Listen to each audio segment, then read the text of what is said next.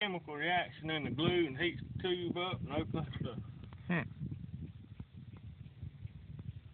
And you heat it up, you know.